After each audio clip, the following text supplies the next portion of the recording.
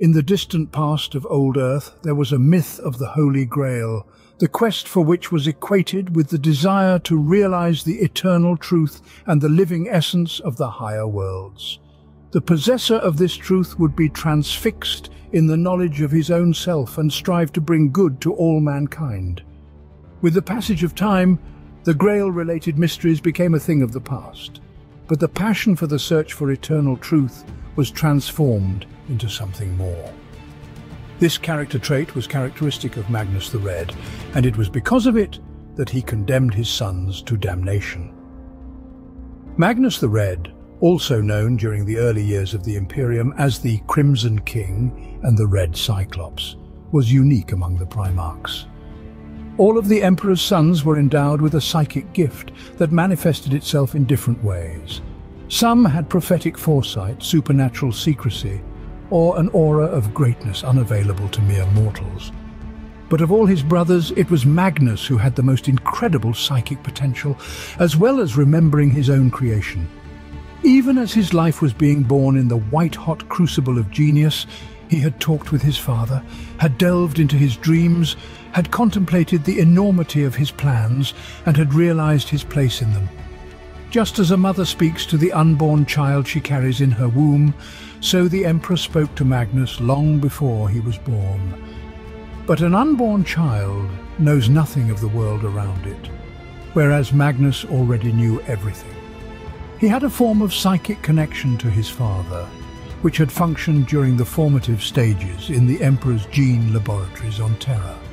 This suggested that Magnus the Red's psychic abilities had been deliberately enhanced by the Emperor.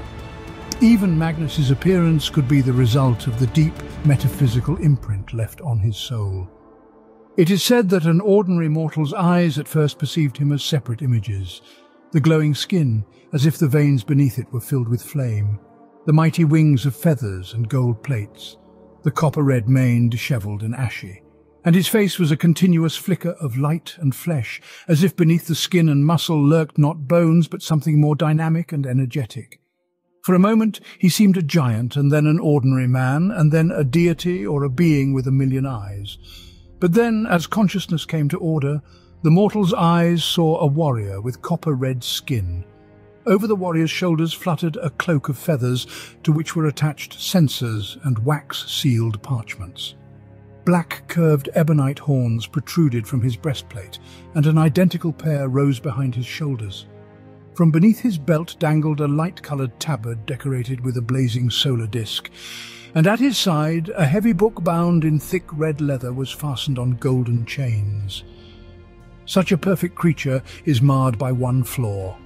The Primarch looks at the world with only this one eye. Where the other eye should have been, the skin shone smooth and even, as if the other eye socket had never existed. It is said that his unique horned armour was not only a tangible physical construct, but also a thing of concentrated psychic energy that changed shape and appearance at the Primarch's will. Such armour was resistant to the most destructive weapons, despite its primitive appearance. In his hands, Magnus carried the blade of An-Nunura, a power weapon. He also had a handgun of immense size, the Volkite Serpenta. Even among the Thousand Sons, there was an ongoing debate as to whether this powerful plasma weapon was a device or simply a manifestation of his psychic abilities in physical form. His home is the planet Prospero, which has long been inhabited by psykers capable of warp flows. They made this world home because of its inaccessibility, having been persecuted as sorcerers since the dark age of technology. When the incubation capsule carrying the Primarch appeared in the skies, they mistook it for a giant, intimidating comet that eventually fell into the central square of Tizca.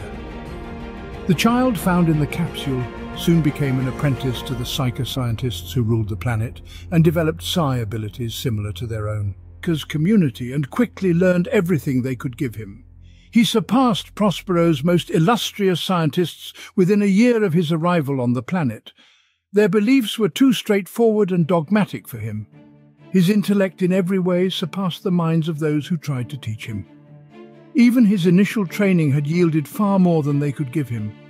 Soon the young man made a trek into Prospero's wastelands, True strength is given only to those who subject themselves to the most severe trials. Within the confines of the community, he knew no fears, no hunger, no special hardships, and therefore had no reason to test the limits of his abilities. It was necessary to test his strength to see if those limits even existed. Magnus believed that outside the city he could do it or perish.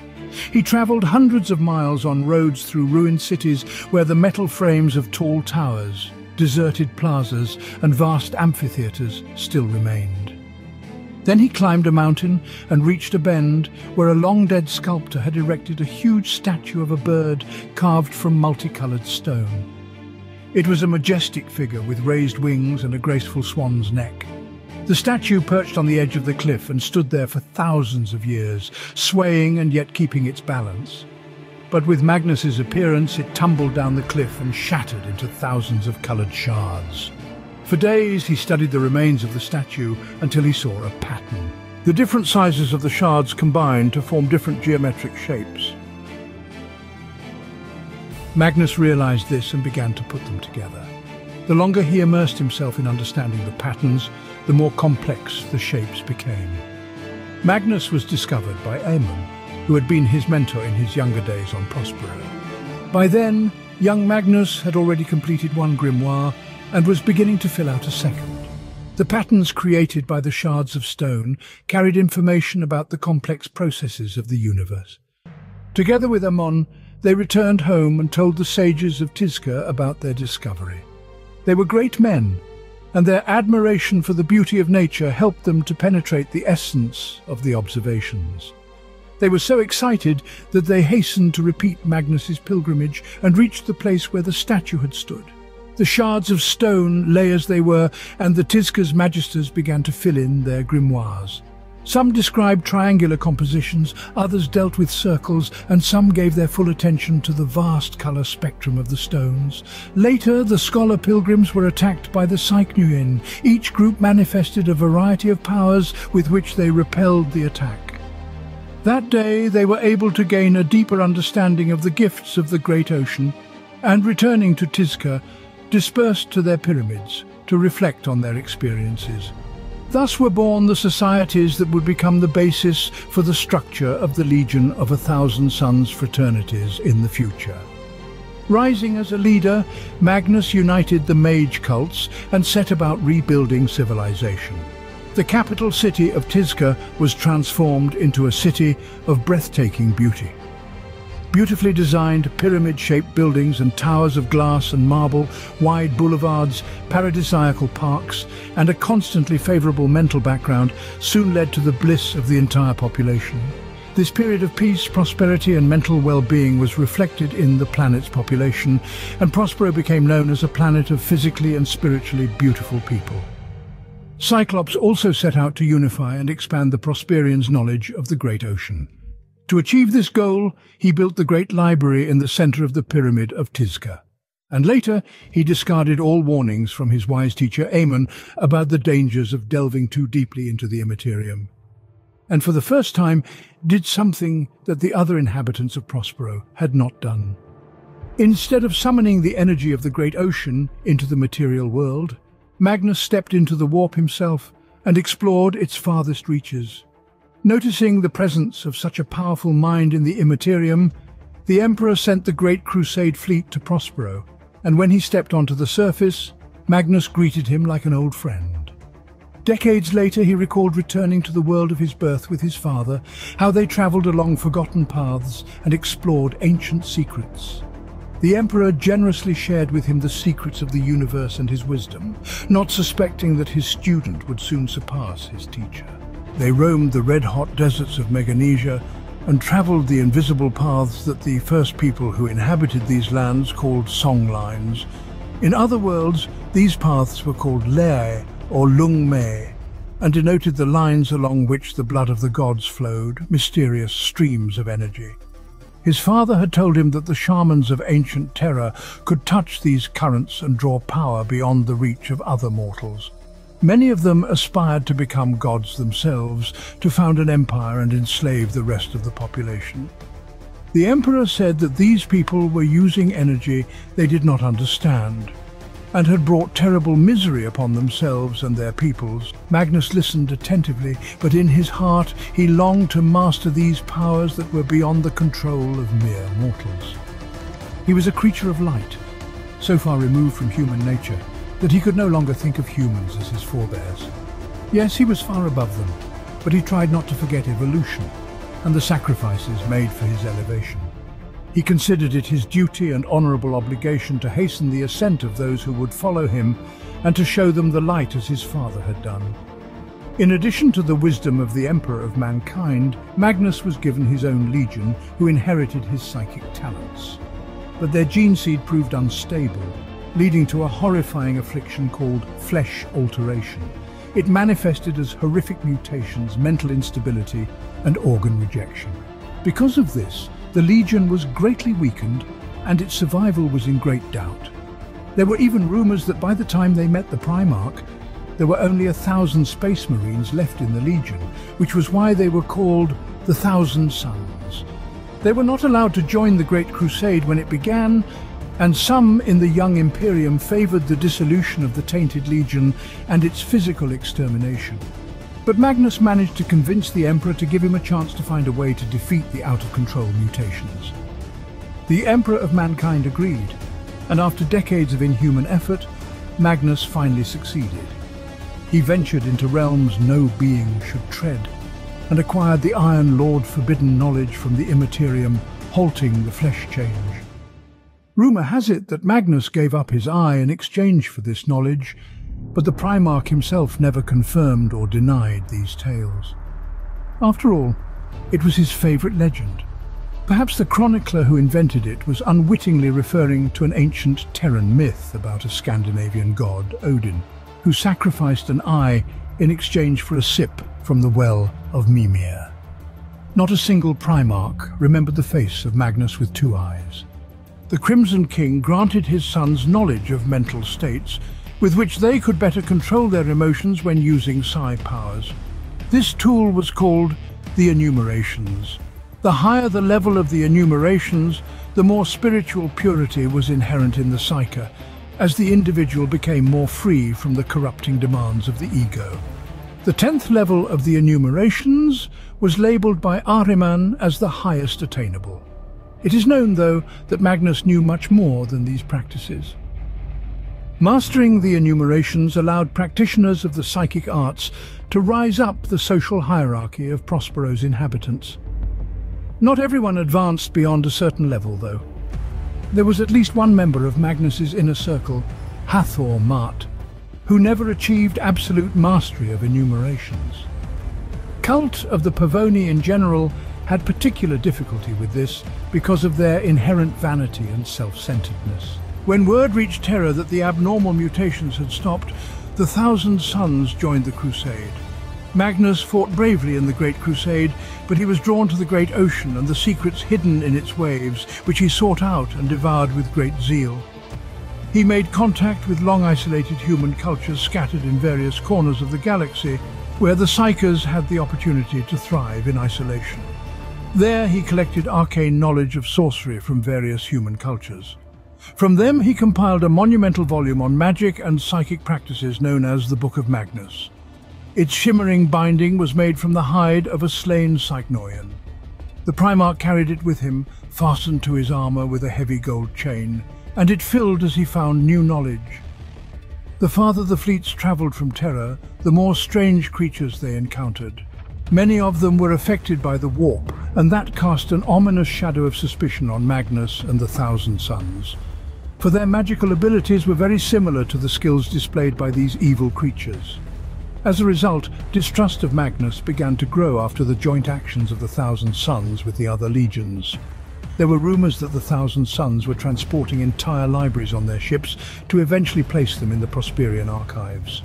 In addition, Magnus's relations with even those brothers who had initially treated him well began to deteriorate. For example, the Thousand Sons responded to a call for help from the planet Morgenstern. They were later joined by the Iron Warriors.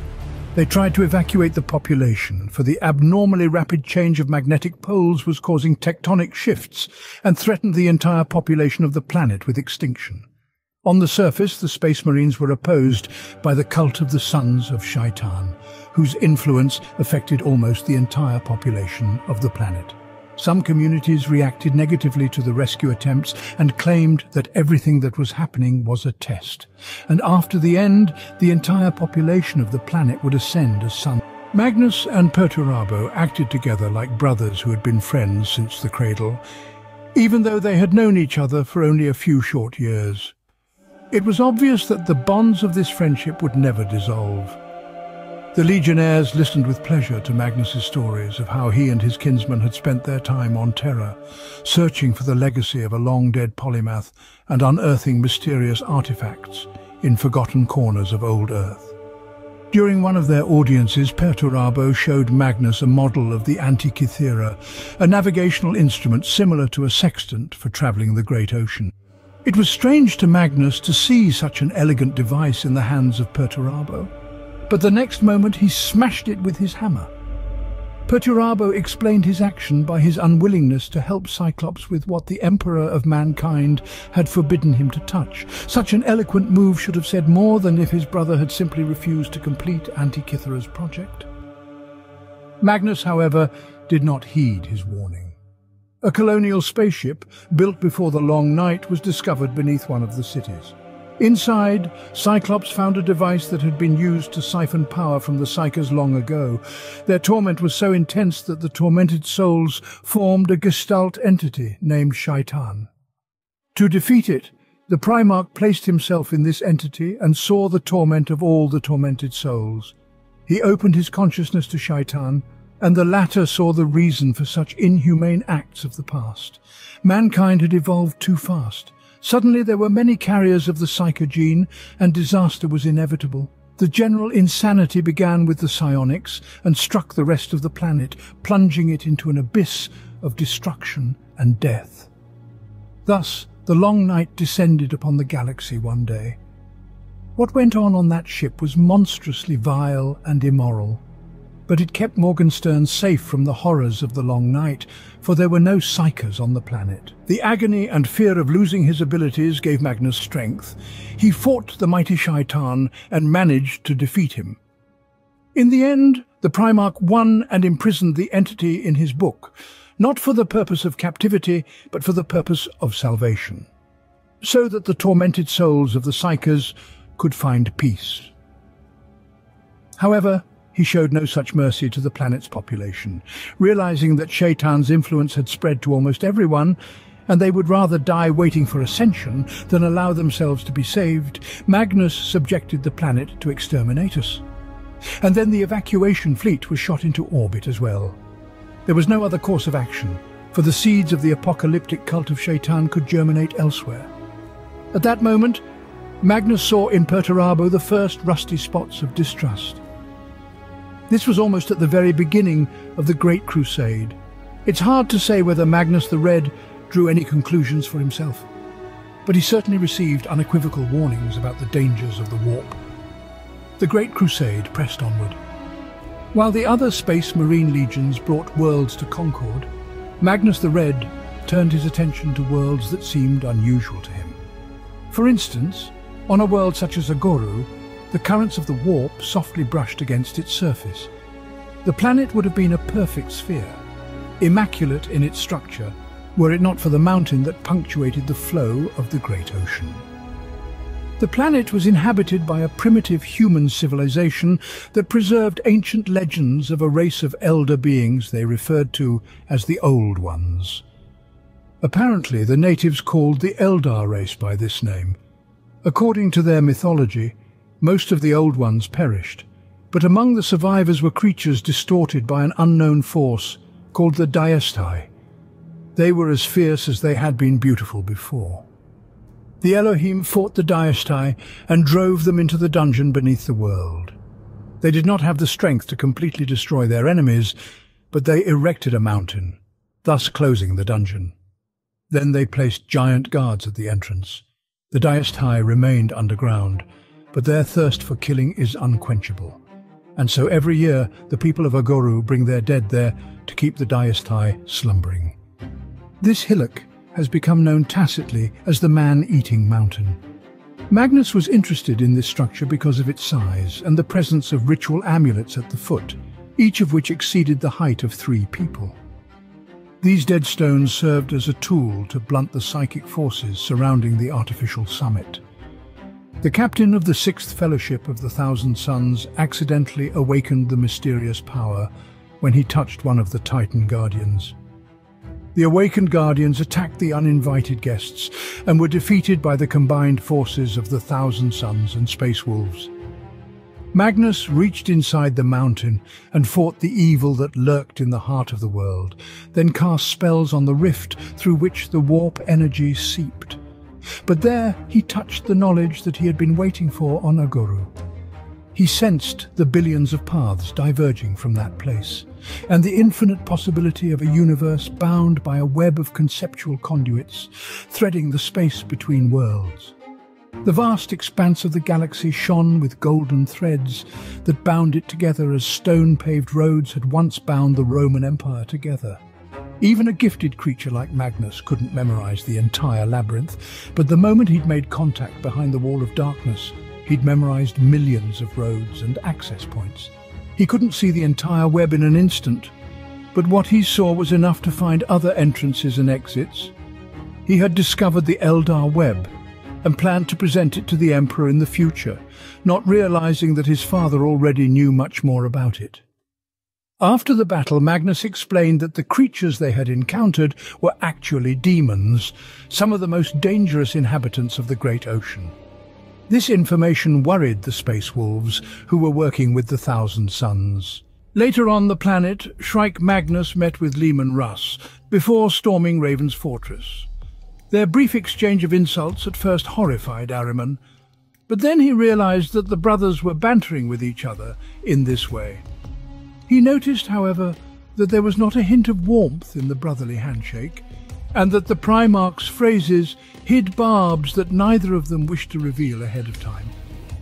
There was no doubt that tension was growing between the legions, and such contradictory formations as the Thousand Sons and the Space Wolves could be bitter enemies if they were on opposite sides of some military conflict. Several incidents occurred during the assault, during which the wolves fought a battle with the sons of Magnus. And then one of the legionnaires of the Thousand Sons began to have a flesh change. The formless monster stretched out its multi-jointed hands toward Magnus, who prepared to grant it peace. But the next moment, the monster's body was pierced by a projectile from Leman Russ. The wolves spilled the blood of the son of Magnus right in front of Cyclops' eyes. The two Primarchs immediately rushed at each other, and the battle would have been overly bloody had it not been for the intervention of Lorgar, Primarch of the Word Bearers. There, on the surface of Shrike, Magnus's loud accusations of sorcery rang out. Leman Russ heard his wolves use the same power as the Thousand Sons, but laughed in response. Lorgar managed to calm their fury with his eloquence, but as he left, the wolf slashed his palm with his blade and promised to avenge the blood of the sons of Fenris. It was a grim warning of things to come. Time passed. Along with the hatred of mutants and psykers in the other legions, there was a growing dislike of Magnus and the Thousand Sons. There were recorded instances of Primarchs expressing displeasure that an entire Psyker Legion was allowed to exist and serve the Great Crusade. There have even been suggestions that the Legion be disbanded, as was the case with the 2nd and 11th. After much debate over the use of psykers, the Emperor convened a conclave on the remote planet of Nikaea, where representatives of all the legions arrived. The Space Wolves were the main opponents of the use of psykers, for they shared their Primarch's hatred of sorcery. At the council, in place of Leman Russ, it was Ohthere Wyrdmake, often referred to as the Fate Weaver among some translations, who levelled accusations against the 15th Legion, the Thousand Sons. He charged them with the practices of sorcery, witchcraft, and the employment of forbidden magics. His accusations were supported by Primarch Mortarion of the Death Guard, recounting a number of companies where they had witnessed the horrors of sorcery. He also recalled that there were no librarians in his legion, for he had disliked them since his youth on Barbarus. As Magnus listened to the accusations, there was an inner struggle between rage and the need to justify himself, between a raging instinct and a higher intellect. He wished to fall upon his brothers, who, in their own limited way, had stigmatized him. But reason, capable of ascending into the warp and casting a glance from the outside, restrained that desire and condemned base emotion. When it was the Crimson King's turn to keep his word, he was calm. In his speech he compared the current views of the Psykers to those of the scientist of old Earth who tried to convince everyone that the planet was not flat. Then he talked about the Imperium of the future, envisioning it as an ideal state of progress and enlightenment, where scientists, philosophers and warriors participate equally in creating a brilliant future. He invited us to imagine what the people of this beautiful age would think as they gazed through the veil of time into the present day. What they would learn about, and what conclusions they would draw. They would realize with horror how close to extinction the torch of enlightenment was that day. The art of questioning everything is the source of all knowledge. To abandon it is to condemn ourselves to a slow decline, to condemn the Imperium to the darkness of ignorance, where people who dare to seek knowledge are viewed with suspicion. This was not the Imperium Magnus believed in, nor was it the Imperium he wanted to be a part of. Then Magnus told a parable about the dangers of sharing knowledge with those who have too narrow a view of reality. He spoke of a people who lived in a cave, whose food was scanty vegetation and water dripping from the rocks, and whose only source of light was a small fire. But one day the wind blew, and one of the cave dwellers decided to find out where it was blowing from. When the man came out of his lair, he saw a beautiful world with bright warm sunshine and rich vegetation, and he looked at the cave as a prison. When he learned about the existence of such a beautiful new world, he had the idea to show it to his friends. But they called him crazy and did not want to leave the limited reality. So he climbed the mountain and started digging until he reached the cave. When the light of the sun illuminated the cave vaults, his friends rejoiced and went with him into a beautiful new world. The audience was enchanted by his story, but Ahriman knew that the Primarch had deliberately changed the ending. For in the original version of the legend, the friends were so frightened by the scene that they killed the man and retreated deep into the cave, taking the fire with them to continue their life in the eternal gloom. Magnus's speech impressed many, and some of the brothers were ready to take his side. But the Emperor gave the final verdict, setting the record straight. Now listen to my decision, the Emperor spoke, and a multitude of feathers squeaked in the amphitheatre. I cannot help but see the needs of the Imperium, but I cannot help but see the real state of people's souls. I have heard knowledge compared to abstract concepts, how it is claimed to be as easy to operate as a sword or a gun, but it isn't. Power is a living force, and the chief danger in the possession of power lies in obsession. A man who achieves a certain measure of might soon falls under its influence and can think of nothing else but reaching new limits. Almost every man is capable of resisting the vicissitudes of fate, but only a few are of sufficiently firm character to wield power and not succumb to its dark temptations. Looking into the darkness to gain knowledge from the warp is very dangerous, for it is a space of shifting reality and bizarre lies. The seeker of truth must be sure that he has not succumbed to delusion, for false knowledge is even more dangerous than ignorance. All people seek knowledge, but few are willing to pay for it. People will always seek shortcuts and easy ways to gain power, and it is not the enemy that draws them to the path of evil, but their own thoughts.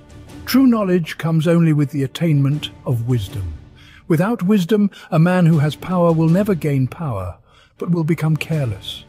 His power will turn against his master and eventually destroy everything he has built. I have travelled paths beyond the reach of any man, and I have faced the spawn of the warp that cannot be named aloud. I know all too well the dangers and secrets of the darkness, and these trials are not for the faint of heart, however knowledgeable and powerful they may think themselves to be and I've managed to uncover some secrets, but as a warning, not a temptation for further exploration. And those who go too far in pursuit of secrets not meant for mortals will only face doom and eternal torment. I see now that I have in vain allowed my sons to plunge into depths of which it would have been better for them not to have known. All must realize that no judgment will be passed, for the conclave was assembled for the sake of unity, not for the sake of strife. But the temptations of sorcery must no longer tempt any of the Astartes. From this moment forward I command that all librarians be dissolved. All warriors and instructors are to return to their battle companies and never use psychic powers again. Woe to him who dares to ignore the ban or tries to deceive me. He will be my enemy and on his head and the heads of his followers will fall such a punishment that to the end of the world they will curse the day they turned away from my light. The thunderous words of the Emperor of mankind were nothing short of a sentence for Magnus and the Thousand Sons. They were forbidden to practice sorcery and seek the knowledge they craved. Disappointed and dissatisfied with this decision, the Crimson King was forced to accept the new ban but soon tried to find a rational explanation to get around them. He foresaw the ruinous powers crafting a malevolent scheme around the War Master, Horus, and sought to warn him. By projecting his psychic essence into Horus's dreams, he aimed to alert his brother to the impending danger. However, he was oblivious to the corruption already festering within Horus, and the critical role the word-bearers would play in the unfolding tragedy. When Magnus appeared in his visions, he saw Erebus there, pushing the already falling Horus into the embrace of chaos. Cyclops failed to dissuade his brother, and then, despairing, he decided to use the power of his legion's greatest mages to deliver news of the impending civil war to the Emperor himself on Terra.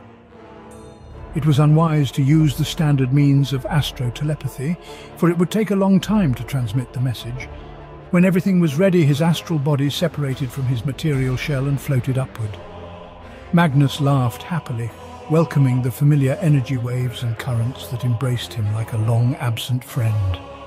He was a bright star, and the others were shimmering bits of amber compared to his divine radiance. In the great ocean he could be anything.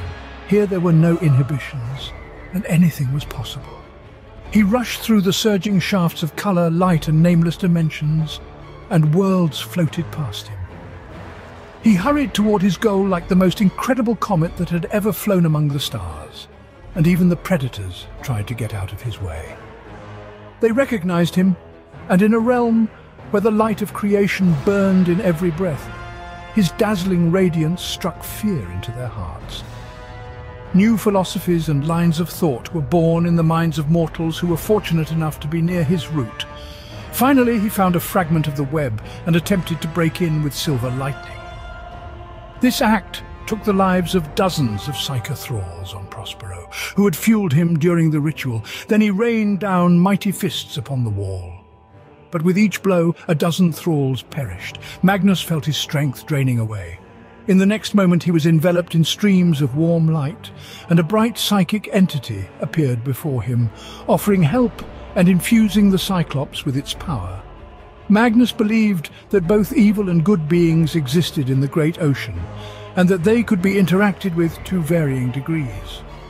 There was no doubt that the entity before him was not a tainted entity that could enlighten not only him, but all of humanity. The Primarch accepted the help, not realizing how wrong he was. The wall parted, letting out a shrill groan that sounded like a cry of pain, he determined the route to Terra and rushed forward. A short time later, the golden portal beneath the Emperor's palace flared with its own internal light, as if the metal on the other side was glowing hot from an invisible torch. The huge automatic guns mounted around the perimeter of the hall raised their barrels and switched to combat mode. Some circuits overloaded and miniature lightning bolts began to leap between the machines. The adepts rushed away from the door. They didn't know what was behind it, but they were smart enough to prefer fleeing. Crackling energy discharges erupted from the molten metal and incinerated those who had not escaped. The symbols carved into the stone exploded with sharp pops. Finally, all the lights in the hall went out, and the results of centuries of work were irrevocably destroyed. The Emperor's custodians grabbed their weapons, but no amount of training could have prepared them for what happened next. A massive red figure appeared in the doorway, engulfed in flames. It burst into the hall, scattering tongues of fire. The creature, composed of moving streams of light and stellar matter, spread a glow that blinded everyone around it, and at the sight of its many eyes, no one could shake off the consciousness of his own mortality. No one had ever seen such a horrible vision, and the real heart of this creature was so powerful that it beat only in specially created flesh. The Emperor alone recognized the magnificent angel, and when he did, he was greatly saddened. Their thoughts met, and in that moment of close contact, the galaxy changed forever. A silent conversation took place between the Emperor and Magnus. Everything Magnus had done was revealed, and everything the Emperor had planned was revealed.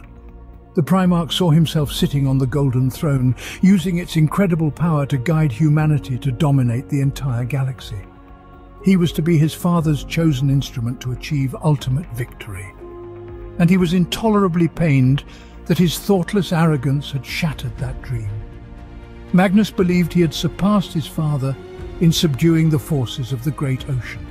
He believed he had learned to control its power, but in the ruins of his father's greatest work, he realized the truth. The key to everything was the Golden Throne. Extracted from the buried ruins from the depths of the barren desert itself, it had been the natural magnet that could unlock the mystery of the warp currents and cast a net over them.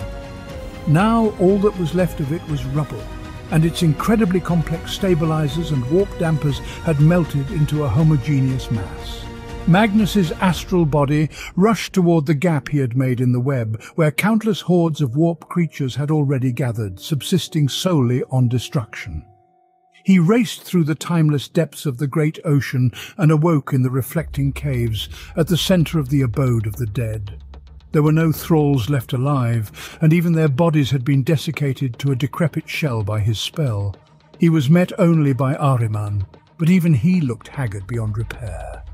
With tears in his eyes, Magnus rushed away from the scene of his crime and sprinted to the pyramid of Photep, ignoring Ahriman's questions. Alone, amidst the deceptive results of centuries of research, his vision became clouded with a bloody veil. The pristine Tizca seemed to live its life unaware of the catastrophe Magnus had brought upon the planet. Magnus the Red's actions have created a demon-infested area in the Imperium's domain of the web, which has come to be known as Magnus's Madness. The Legio Custodes, Adeptus Mechanicus and a wide variety of military personnel were drawn into a grueling war, and the Emperor took the Golden Throne to contain the influx of warp essence. He was furious at his son's willful violation of his son's prohibitions on the use of magic. His actions had damaged a secret project centuries in the making to use the construct to create roots around the warp. The Emperor then instructed Leman Russ Primarch of the Space Wolves, to bring Magnus quickly to Terra to account for his actions. It is hard to say whether the Emperor learned of Horus from Magnus's mind and knew of Leman Russ's animosity. But what happened next forever shackled the Emperor to the throne and changed the face of the galaxy. On his way to Prospero, the War Master contacted the Wolf Lord and made some adjustments to the order.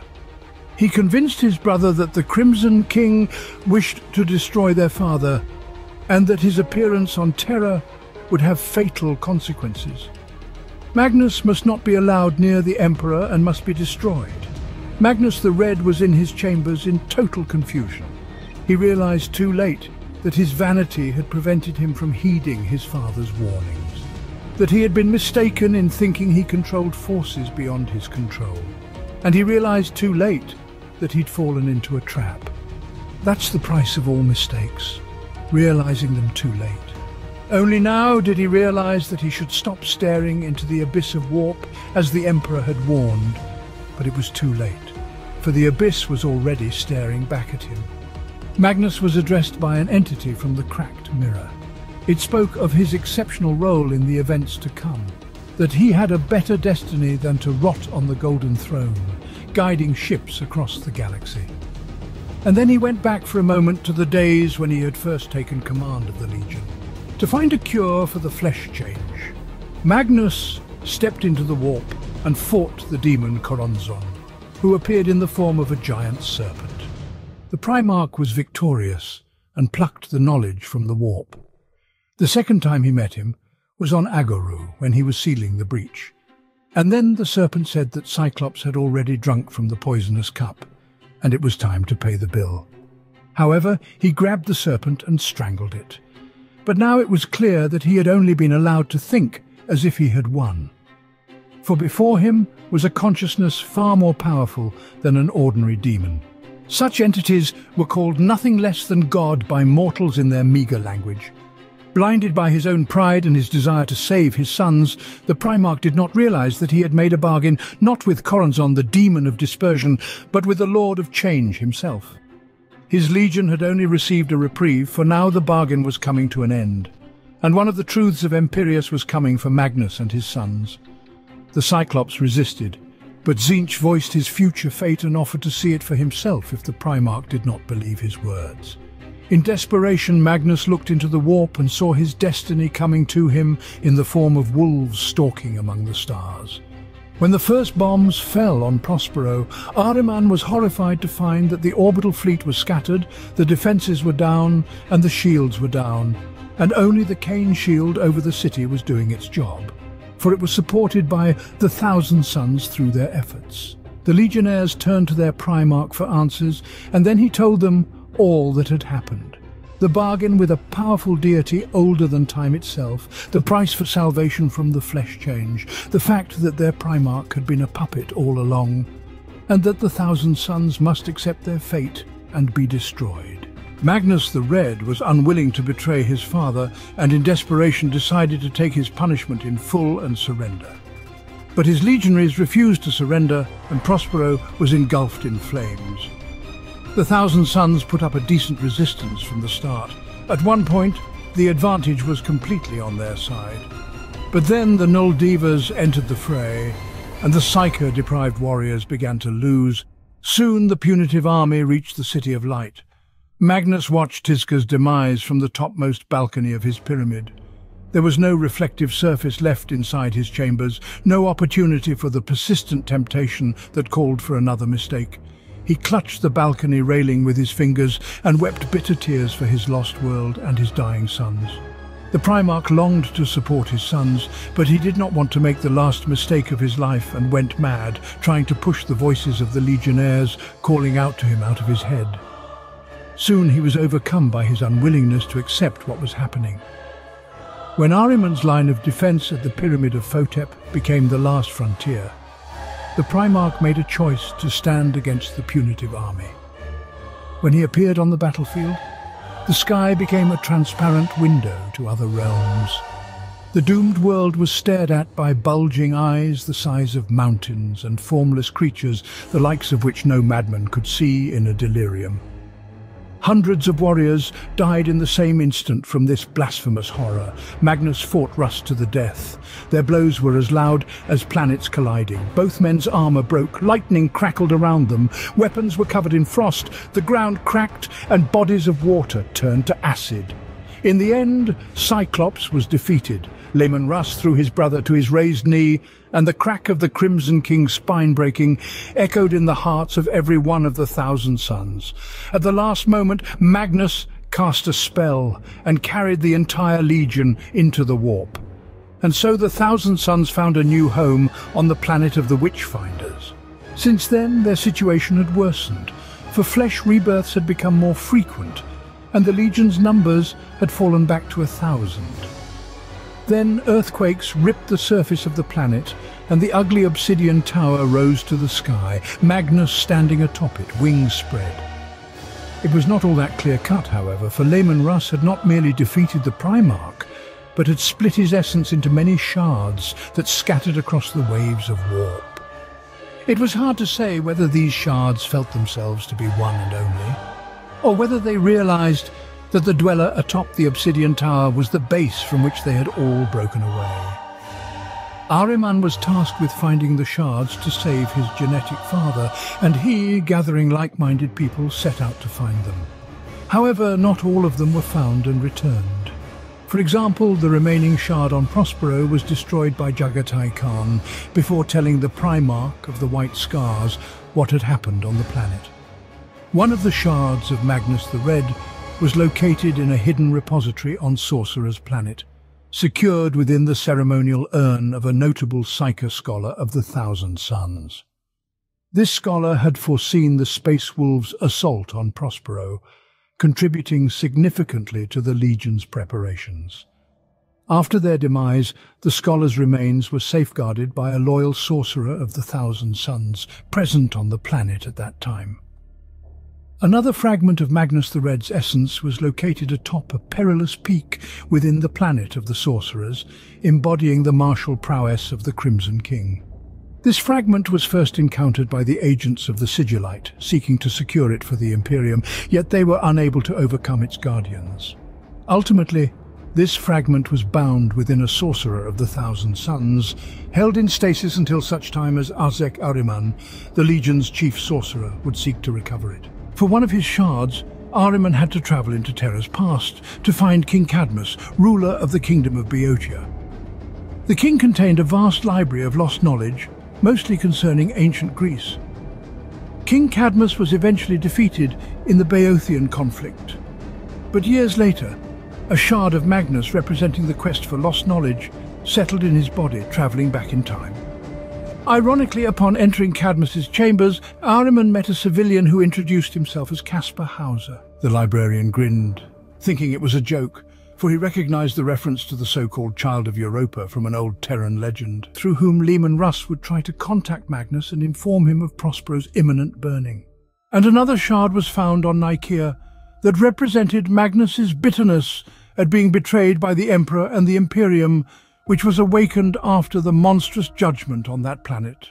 While Ahriman searched for the shards, Magnus was slowly consumed by madness. He tried his best to recover his lost knowledge and began to write down everything he knew. He was surrounded by less powerful shards who were diligently recording the information in folios. But sometimes terrible things happened. They began to disappear, the identity of the Crimson King crumbled and crumbled, and his ashes were carried away by the winds of the warp. More than once Magnus was visited by Primarch Lorgar, whom he first mistook for a ghost and threw out of his tower. Another time he already knew who was before him. His brother had tried to persuade him to join Horus. Sometimes he appeared to Lorgar in astral form when Urizen was preparing to attack Ultramar. But at that moment, the Crimson King had not yet decided to join the warrior. When Ahriman returned to the planet of the Witchfinders, he saw a withered and aged Primarch. But after reuniting with the lost shards, he was reborn. It was the majestic and formidable Crimson King, who in his address to his son said that they would side with the warrior and that he would not rest until they had stormed the castle to retrieve the greatest shard that was locked in the dungeons of Terra. Magnus's noble traits were embodied in that shard, and it roamed the dungeons of the imperial palace until Malcador the Sigillite sealed it in the body of Revuel Arvid. Magnus eventually appeared in the material world on Ulanor and knelt before the warrior. In the early stages of the Siege of Terra, he appeared at a war council of traitors aboard the Vengeful Spirit, giving advice on disabling the Emperor's psychic barrier that prevented demons from appearing on Terra. After the fall of the Lionsgate spaceport, rumours spread that Magnus had finally been summoned to the battlefield, and Malcador believed he was using his psychic power to weaken the Emperor.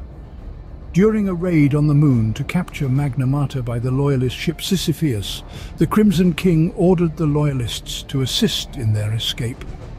During the assault on the Colossus Gate, Cyclops met his fallen brother Mortarion. Sympathizing with the constant pain the latter was experiencing, Magnus the Red taught him how to better control his powers to regain his former composure. In truth, Magnus simply did this in order to manipulate Mortarion into launching an attack to cover his own infiltration of the Imperial dungeon.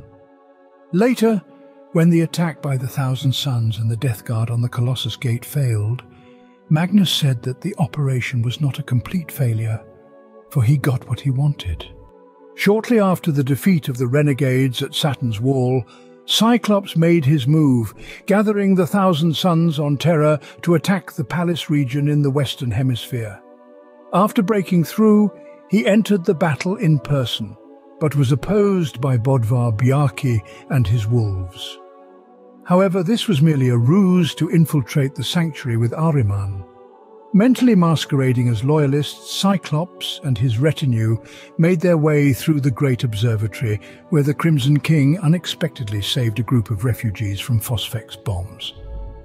After penetrating deep beneath the palace through Lenga Hall, Magnus and his sons appeared before Malcador and Olivia Sureka on the shores of a vast underground lake. Malcador offered Magnus a game of regicide with Sureka, and it soon became apparent that he was trying to win the Crimson King over to his side. As they travelled deeper into the Imperial dungeon, Magnus and his entourage next encountered a projection of the Emperor that led them to the throne room. There Magnus stood before his father, who sat on the golden throne. Determined to fulfill his vow to kill the Emperor, the Crimson King destroyed the projection and activated his staff to deliver the killing blow. But before he could follow through, Vulcan blocked his path. The eyes of the Emperor of Mankind suddenly opened, and Magnus found himself floating on the ether with his father, watching the rise and fall of the galaxy. The Emperor showed a future in which the Primarchs had never opposed the Imperium, and the last peace in the galaxy had been won in the name of humanity. In that future, Magnus sat on the Golden Throne and ruled the Imperial Web, and his soul was in eternal bliss, drifting in the Immaterium with the Emperor and discovering the frontiers of cosmic knowledge. His father declared that such a future was not yet lost, and Magnus could return to the Loyalist side at the head of the new legion being prepared for him. Together, they would expel the traitors from Terra and accomplish the Great Purge. The price was high, however, for the Emperor had declared the Thousand Sons damned because of the rampant flesh alteration, exactly the same price Magnus the Red could have paid when Leman Russ burned his planet, but he had not, for no father would wish his children dead. And now the Emperor was offering his son to pay that price again. The Thousand Sons could not follow Magnus back into the Emperor's arms, they had to be purged. The price was too high, so he struck at the Emperor again but found himself in battle with Vulcan. During the battle, Magnus almost defeated the Salamander Primarch, but the sacrifice of Barik Zaitos allowed Vulcan to apparently force the Crimson King into submission.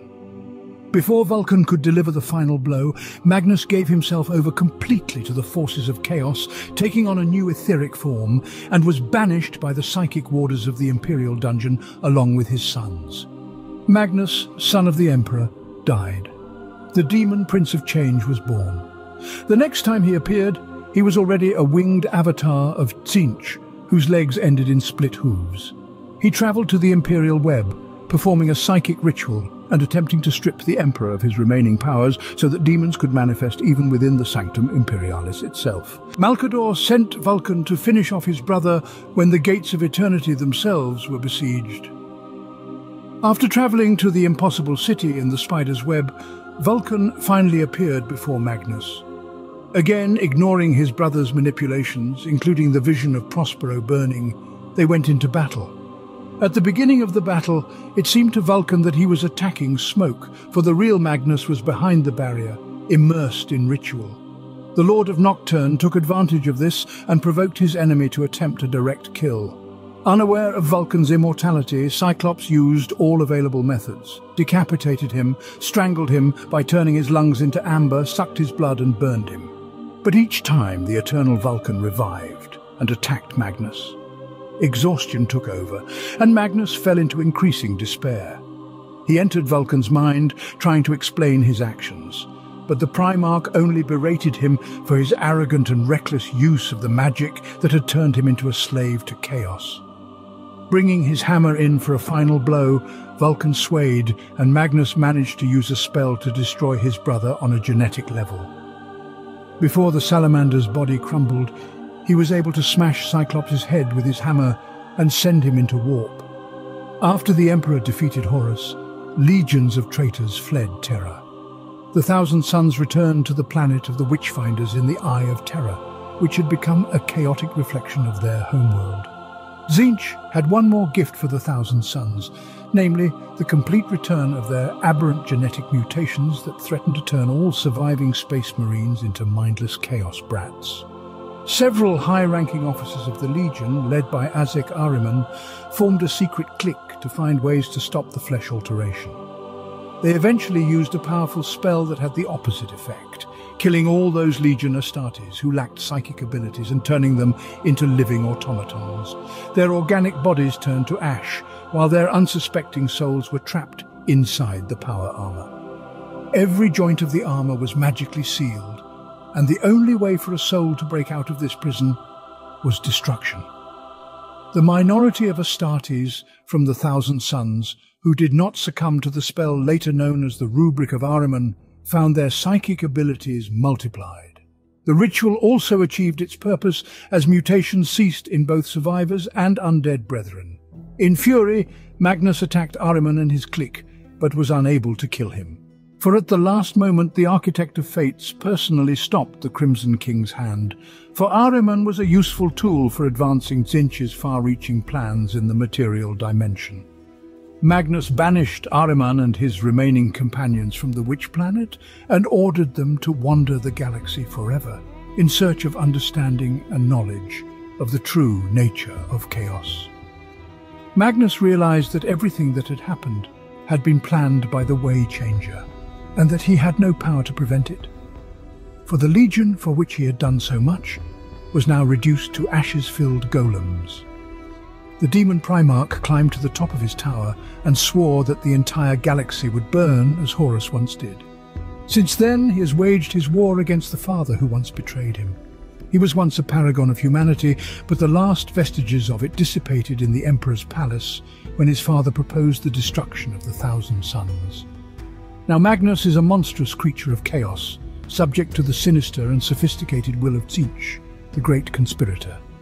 His skin is always red, crackling and glowing from absorbed warp matter, and from his back protrude huge wings adorned with the writhing runes of Tzeentch. With his single eye he sees through both immaterium and real space, weaving threads of the manifold future and winding them to form a loop with which he can trap his enemies. Once he sought knowledge for its own sake. Now he seeks only that which will allow the Imperium to burn for its crimes against him. In a galaxy torn by war, few things are more terrifying on a battlefield than a demon Primarch.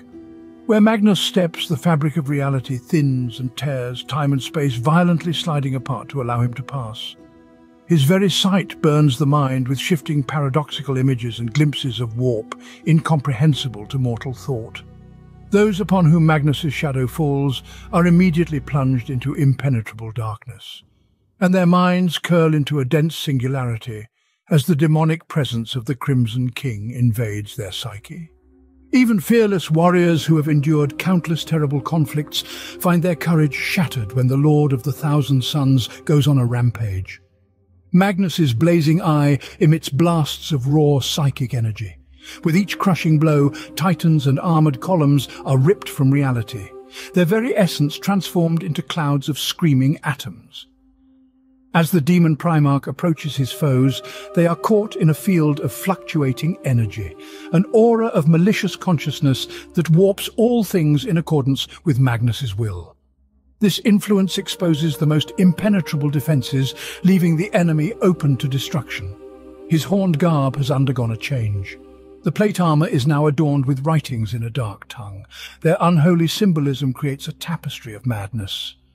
Anunura's blade is now known as the Blade of Magnus. He uses it to cut through enemy ranks, slicing tank hulls and torsos in half, separating souls from their material bodies. Those who are not instantly transformed into pools of blood or clouds of flame suffer an even worse fate. The enchanted sword alters the torn flesh of its victims, infusing them with empirical power, creating writhing spawns of chaos. Above his horns shines the crown of the Crimson King, a halo of psychic power that shields his mind and body from harm while protecting his physical mental self. The futility of confronting Magnus's anger becomes apparent when the enemy fire dissipates without causing harm. The mental discharges turn into harmless sparks, and the giant chain swords grind to a halt in front of that etheric barrier. Sometime later, in the 41st millennium, Ahriman attempted to create a second rubric on the Sorcerer planet. But a rival clique of Thousand Sons mages discovered that the rubric would lead to the destruction of Magnus, and the Primarch eventually used the ritual to assimilate with more lost shards of himself. He became almost whole, but the shards that were lost were those that embodied his noblest qualities. The demon Primarch appeared in the material world in the last years of the 41st millennium and attacked the homeworld of the Space Wolves. He had been preparing for the invasion for centuries, sowing Wulfen corruption throughout the Order, corrupting the gene seed at the Battle of Fang, and using the Shifter to provoke an Imperial attack. Magnus's invasion was eventually stopped, and he was banished back to the Warp by Logan Grimnar, wielder of the Axe of Morkai. But that in turn no longer mattered, as he succeeded in his ultimate goal. By sacrificing of the planet Midgardia, Magnus moved the planet of the sorcerers into the material world. The Crimson King reappeared at the head of the Thousand Sons in a massive ship resembling the Pyramid of Tizca and organized a ritual that prevented the expedition of Primarch Roboute Guilliman from reaching Terra and trapped him in Maelstrom. Guilliman managed to escape the trap, but Magnus saw it coming. He met his brother inside the web. His plan was to trick Guilliman's allies into opening a portal to Terra, allowing his own forces to enter. However, the Lord of Ultramar had figured out Magnus and headed for the moon. Magnus and Guilliman engaged in battle. Cyclops had the upper hand until the Sisters of Silence arrived from Terra, weakening Magnus so much that Guilliman stabbed him in the chest. The Crimson King was forced to retreat with the Thousand Sons. Magnus later appeared at the head of a huge Tzeentch army during the invasion of the Stygius sector. They managed to capture many worlds that the Primarch Mortarion had previously appropriated and turned into the stars of the Stygius. Loyalist forces were sent there to retake the Stygius sector, but it failed even with the help of the Eldar from the world ship Ulthwé. The sector was the first of the domains Tzeentch planned to claim. Magnus soon returned to Prospero, intending to use the newly discovered portals to summon an army of demons. However, his plans were thwarted by the Space Wolves. In the midst of the battle, the Crimson King was tricked by Lukas the Trapper, who offered him a necessary spell that was actually just a useless piece of paper. The trick allowed Lukas and the last remaining wolves to escape. Since the opening of the Great Rift, Magnus has succeeded where the Emperor failed, and elevated humanity to a truly psychic race. Radiating a magical aura from the recently relocated Prospero, he attempted to create a fulcrum for Tzeentch in the material dimension. But his plans were thwarted by the Imperium's sudden attack on the planet Sortiarius. The current location of the Crimson King is unknown, but one thing is certain, he appears wherever the Architect of Fates intends to take over another dominion in the material universe. He leads powerful armies of demons and chaos space marines. He is the architect of nightmarish rituals that can affect entire star systems. To conclude the story of the most powerful Primarch, we must return to the question, did Magnus betray or was he betrayed? There is no doubt that the Crimson King was a victim of his own pride, for he mistakenly believed that he controlled forces that could not be controlled. His irresistible desire to do good and bring mankind to the apotheosis of knowledge did not give him a moment to doubt, to stop and think. It is said that when the gods want to test a man, they throw his strongest qualities against him. That's what happened to Magnus, and it was a test he failed. So did Magnus betray? Yes, but not right away.